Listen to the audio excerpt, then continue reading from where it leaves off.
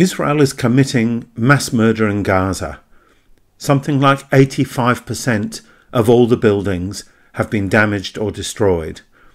At least 15,000 people have been killed, and we know there are probably thousands more bodies in the wreckage.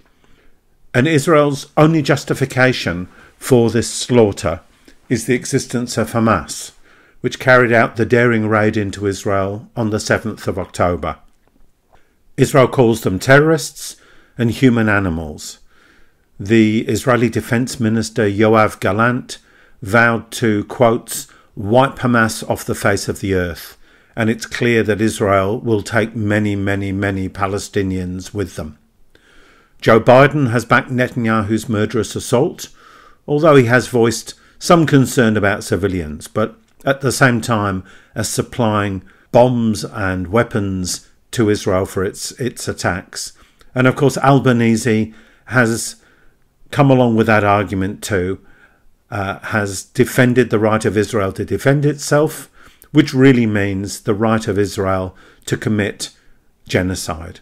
So many dead, so many displaced. But the question arises who are Hamas? You're listening to the sound of solidarity brought to you by Solidarity. We're a revolutionary socialist group in Australia, and if you'd like to find out more about us, our website is solidarity.net.au. I'm David Glanz, and I'm recording this episode on unceded Wurundjeri land in Naarm or Melbourne. So, Hamas are terrorists? Well, funnily enough, most of the world doesn't think this way. The number of countries that designate Hamas as a terrorist organisation is quite small. It's the European Union, Israel, of course, the United Kingdom, Japan, Canada, and the United States. In Paraguay and New Zealand, only the military wings of Hamas are regarded as terrorist, and the political and welfare organisations are not so described.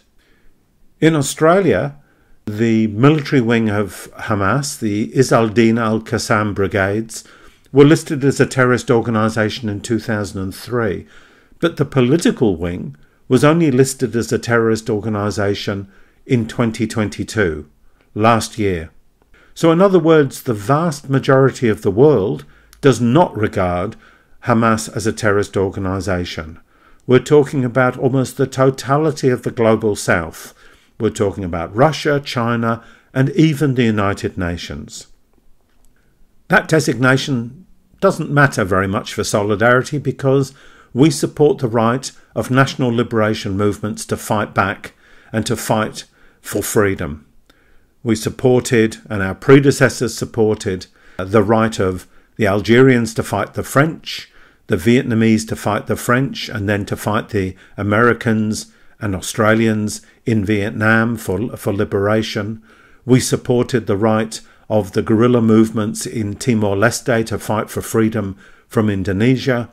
We continue to support the right of the people of West Papua to fight for liberation from Indonesia. So for us, it's very simple. We unconditionally support all those fighting for national liberation.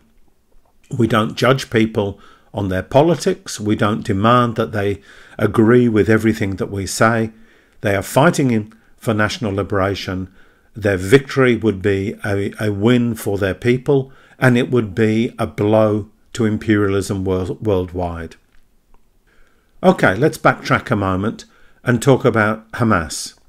Who are they? Where do they come from?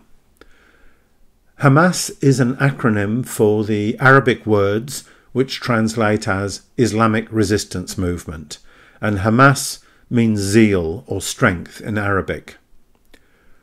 Hamas emerged from the Mujama al Islamiyah, which was the Gazan arm of the Muslim Brotherhood, and that was in 1987 during the first Intifada, the first mass Palestinian uprising. Now, for Islamophobes, the idea of the Muslim Brotherhood is very scary, but actually, the Muslim Brotherhood, which was founded in Egypt, is a very conservative organisation in every sense of the term.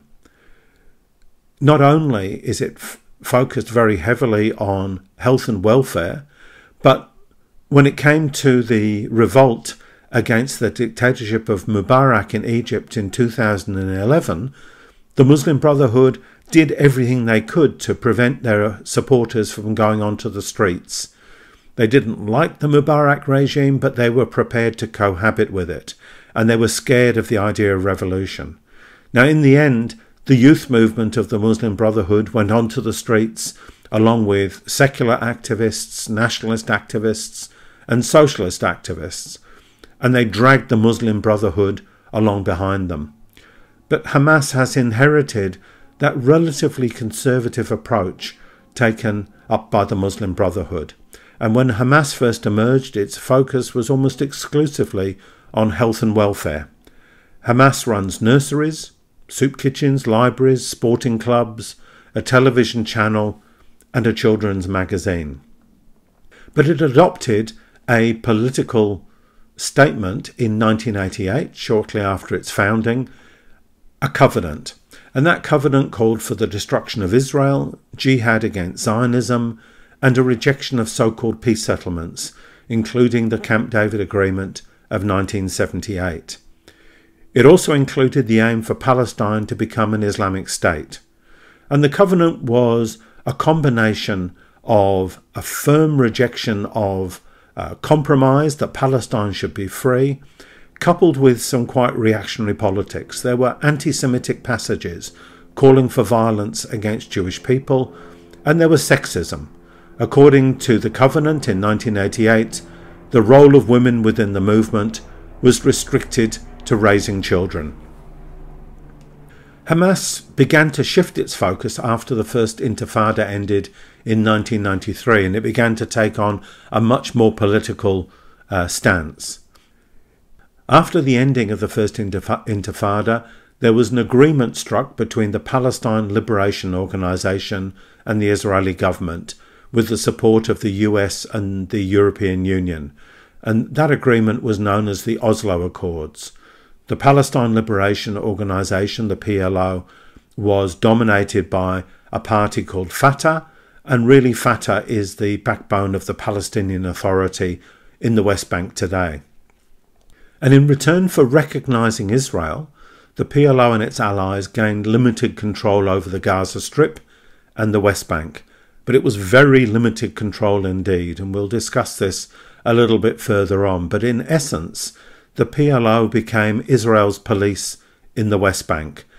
Uh, they would brutalize opposition, they would hand people over to the Israelis, and they stood by as Israeli settlers in their hundreds of thousands flooded into the West Bank, stealing the best land, stealing the water, stealing the olive groves. And Hamas rejected compromise. It refused to stand in the 1996 elections that followed the Oslo Accords, and it became the focus for disillusionment. The group then became central to the Second Intifada, which erupted in 2000, and its willingness to resist meant it became very popular. And when elections were held in 2006 for the Palestinian Authority, Hamas won 73 seats out of 132. In other words, they won a majority. Far from being a terrorist organization imposing its will on the Palestinians, it actually became the elected government of the Palestinian people. But Fatah staged a coup in the West Bank, which was backed by Israel and US, leaving Hamas in control only of Gaza. And then Israel tried to play the two parties off against each other because the Oslo Accords raised the prospect of a two state solution of an Israel and a Palestine existing side by side. It was never realistic. It has become even less realistic over time, but Israel wanted to destroy even the slimmest prospect, so it deliberately supported Hamas against the PLO in order to weaken the PLO. They saw the PLO as secular and they saw sections of the PLO as left wing, and they wanted to ensure that the PLO would not make progress. In the 1980s, the Israeli military governor, Brigadier General Yitzhak Segev, told the New York Times that Hamas and other Islamist groups could be a counterweight to the PLO. And between 2012 and 2018, Netanyahu gave his approval for Qatar, one of the Gulf states, to transfer a total of about a billion US dollars to Gaza, knowing full well that about half of that would be creamed off by Hamas. Now the pendulum has swung. Israel is desperate to prop up the Palestinian Authority and its president Mahmoud Abbas because they're worried Hamas now represents the main threat to Israel. And the PLO have become abject collaborators. The Palestinian Authority has arrested dozens of journalists and union organisers, and its supporters beat to death prominent Palestinian activist Nizar Banat because he exposed corruption in the Palestinian Authority. That hostility to the PA has continued. A poll held in June, so before the current round of fighting, found that 63% of Palestinians in the occupied territories, so that's both the West Bank and Gaza, considered the Palestinian Authority as operating in Israel's interests. And an organisation called Arab World for Research and Development held a poll during the fourth week of the current conflict in Gaza, of the attacks on Gaza, and found that support for the Palestinian Authority amongst Palestinians across the occupied territories has fallen to just 10%. By contrast, the three fighting organisations, the Al Qassam Brigades, Islamic Jihad, and the Al Aqsa Brigades, have the support of, respectively, 89% of Palestinians, 84% of Palestinians, and 80%. And Hamas itself has the support of 76% of Palestinians. The majority of those polled either strongly supported, 59%, or supported to some extent, 16%, so that's 75% in total, supported the October 7th attacks carried out by Hamas and other factions. But interestingly, 75% also support the establishment of a national unity government after the war, only 14% support the establishment of a government led by Hamas, and only 8% support a government led by Fatah, which is the party at the heart of the Palestinian Authority. So Palestinians support resistance, but they do not give a blank check to Hamas. And part of that is because of the politics of Hamas. Now, I mentioned earlier on that Solidarity gives unconditional support to organisations fighting for national liberation, and that obviously includes the Palestinian National Liberation Movement. But that support is not uncritical. And when I say it's not uncritical, I'm not talking about nitpicking. I'm talking about disagreements about how the Palestinians can win. We would support the Palestinian National Liberation Movement even if its tactics were wrong but we would support it nonetheless. But we would criticize those tactics because we want to see the Palestinians win national liberation. Now, it's important to see that Hamas's politics have shifted. There's often a, an idea that a, um, a religiously uh, centered organization, and Hamas is an Islamist organization, is somehow so conservative and so dogmatic that it cannot change its views. But is, Hamas is essentially a political movement, and it has had to respond to the growing radicalization amongst Palestinians themselves, the results of successive intifadas, the, the result of organizing uh, by students and workers and women around all sorts of issues, and Hamas has had to shift its position. So in 2017, it adopted a new covenant Critics of Hamas like to pretend this new covenant doesn't exist. They refer back time and time again to 1988 because of the language which was anti Semitic and use that as a way of hammering Hamas. But in 2017, the language and the political ideas shifted substantially. So gone was the rhetoric about transforming Palestine into an Islamic state. And that's important because Palestinians themselves include Christian minorities and people who have no religious identification. And so that is the beginning of a shift towards recognizing that Palestine should be the land of all its peoples, regardless of their religion or lack of it. As early as 2006, Hamas had appointed a Christian as a minister in its, in its leadership. Palestinian women did not put up with the sexism of 1988. They organised and they campaigned, and in 2021, Jamila Al Shanti became the first woman to be appointed to the group's political bureau. And importantly, the anti Semitic language was dumped. This is now what Hamas stands for, and I'm quoting Hamas does not wage a struggle against the Jews because they are Jewish, but wages a struggle against the Zionists who occupy Palestine. Yet it is the Zionists who constantly identify Judaism and the Jews with their own colonial project and illegal entity. And I think actually that statement carries a lot of weight, and I think the increasing shrillness and the bizarre accusations that the supporters of Israel make against Palestinian supporters, I think underpins that second sentence. It is the Zionists who say that if you are against Israel, you are against all Jews. But that's not the case, and I'm speaking as a Jew who supports the Palestinians myself. There are growing numbers of Jews around the world, not least in the United States, who are standing up for the Palestinians and rejecting the idea that the Zionists speak for them or speak for me.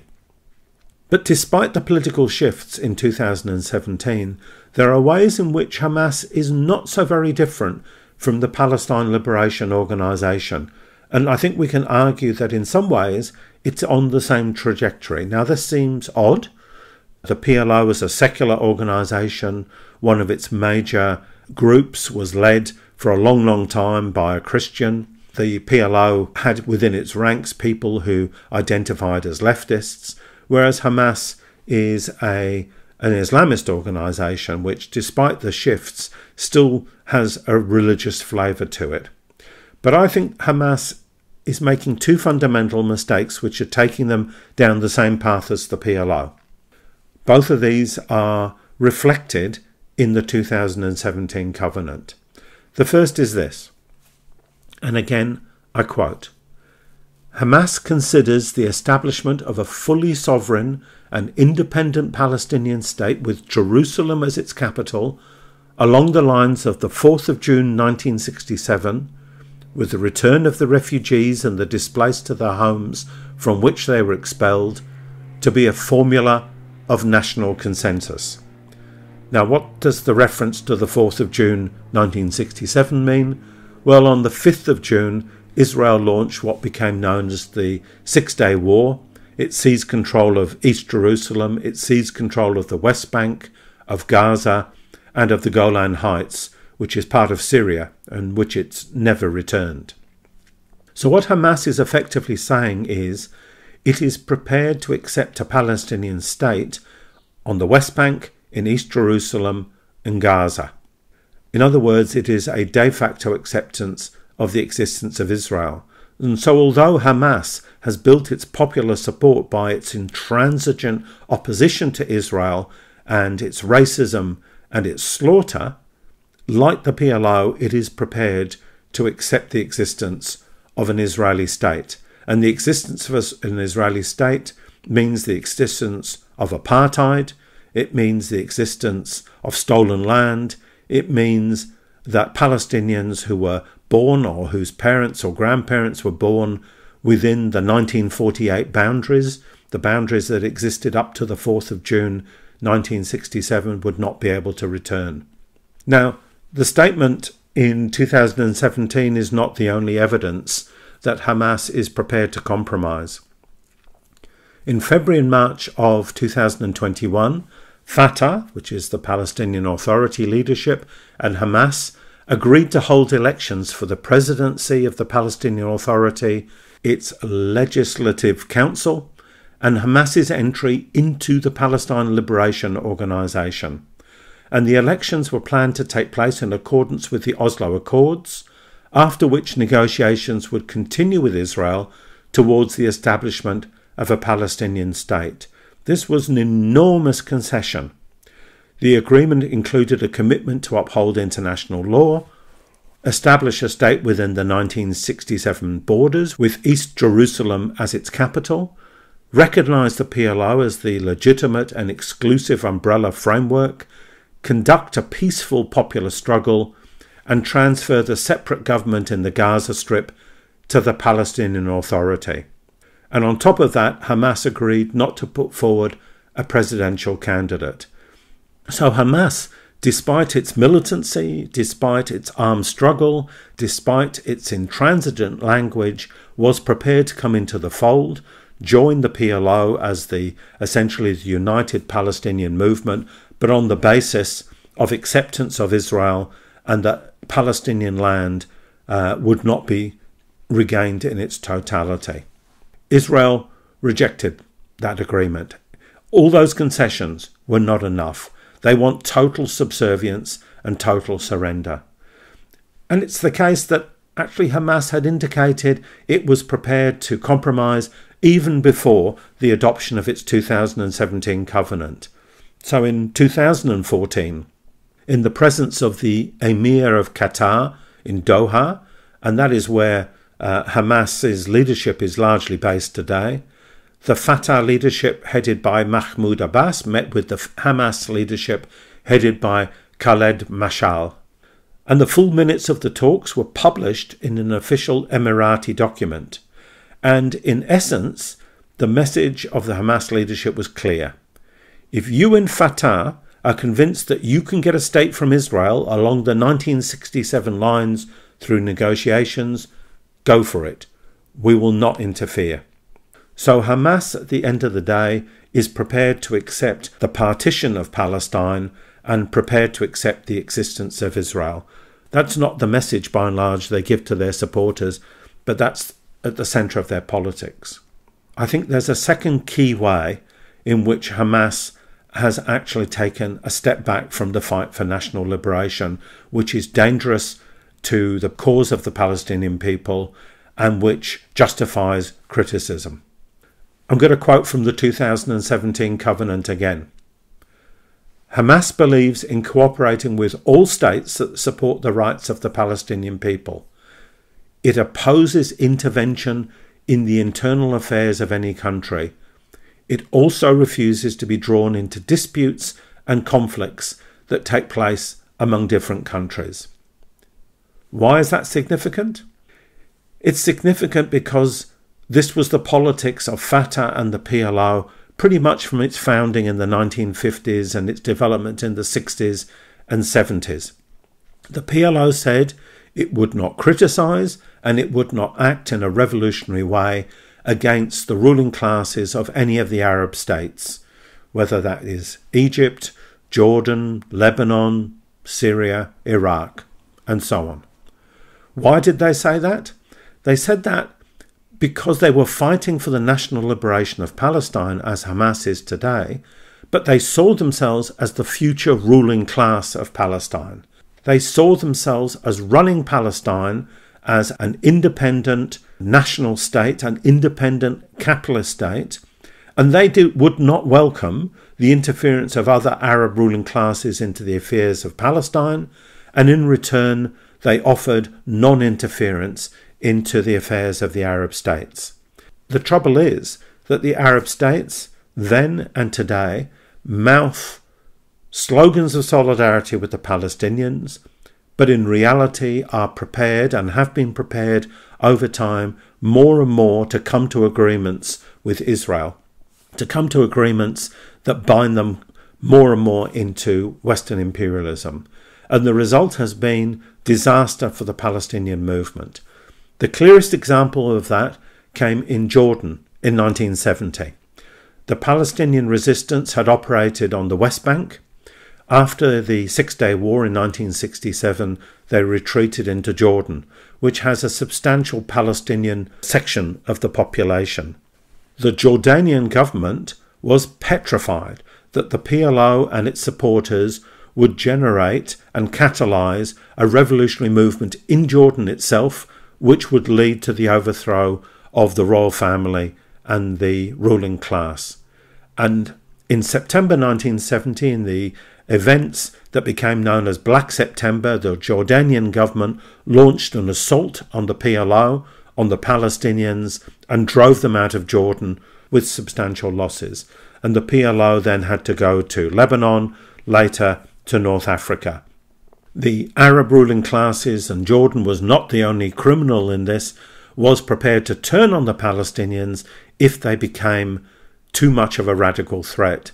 The response should have been for the Palestinians to take up the revolutionary gauntlet, to combine with workers and peasants and students and the poor in the Arab nations and join in revolution across the region. But the PLO was never going to do that, and the Hamas has gone down the same path. The problem is the Arab rulers have become more and more tightly linked to Israel and to Western imperialism. Israel was the first to strike a peace deal with Israel, and then under the Abraham Accords, a series of Gulf states also struck peace deals. And if it hadn't been for the events of October the 7th, Saudi Arabia would also have struck a deal, a normalization arrangement with Israel. So all the Arab ruling classes talk about solidarity with Palestine and they act in solidarity with Israel.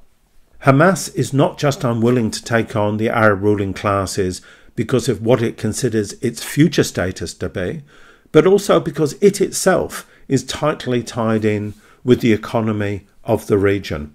It's calculated that in normal times that Hamas gets something like 500 million US dollars a year, so about 750 million Australian dollars from firms which are registered across the Middle East. One of those firms built the Afra Mall, which is Sudan's first shopping mall. Another has mines near Khartoum, the Sudanese capital. Under what circumstances would Hamas support the revolution which has unfolded on two occasions in Sudan if it risks them losing their investments in that state? Another Hamas owned or influenced company built skyscrapers in Sharjah in the United Arab Emirates. Hamas is tightly linked in, economically and politically, today, not just in the future, with the Arab ruling classes. And they see themselves as a future Arab ruling class. So they turn their backs on the revolutionary potential that exists in the region. And it, it is here, most of all, that we offer as socialists an alternative. We admire the Palestinian National Liberation Movement and its fight for freedom.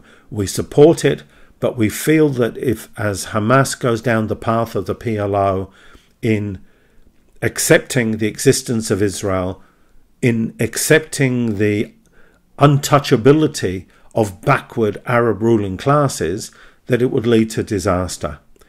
And we argue that there needs to be the building of new parties, of socialists in the Middle East. Partly, some of those exist already today in Egypt, in Lebanon, uh, under awful situations amongst uh, the Syrian diaspora. But we need to build new revolutionary parties that fight tooth and nail for Palestinian liberation, but that understand that Palestinian liberation will only come about, can only come about, when the power of the regional working class is unlocked. Above all in Egypt, a country of 110 million with a massive working class, a massive proletariat that has the power to overthrow not just the dictatorship in Egypt today, but to open the gates to Rafah, to pour through into Gaza, support military and practical, and to generate and encourage workers across the region to rise up to simultaneously overthrow their own dictatorships and to come to the aid of the Palestinians. Imagine a situation where millions of Jordanians, Egyptians, Lebanese, Syrians, and more come to the Israeli border in solidarity with the Palestinians. The Israeli state could fall. And that's the vision that Solidarity has for the future of the Palestinian people, for liberation, political, national, and social across the region.